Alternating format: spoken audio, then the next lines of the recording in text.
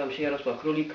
Zostałem poszkodowany w wypadku drogowym w sobotę wieczorem udając się do pracy. Wyjechałem do pracy i na skrzyżowaniu wyjechał Polonez we mnie, samochód osobowy Polonez. Po prostu zanim zatrzymał się na skrzyżowaniu nie ustąpił mi pierwszeństwa i uderzył mnie w, bok.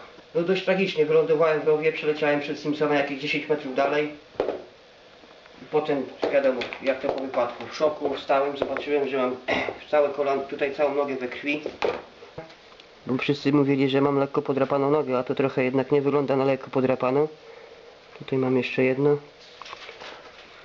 Dość głęboka rana. 12 szwów założonych. Zbite mięśnie.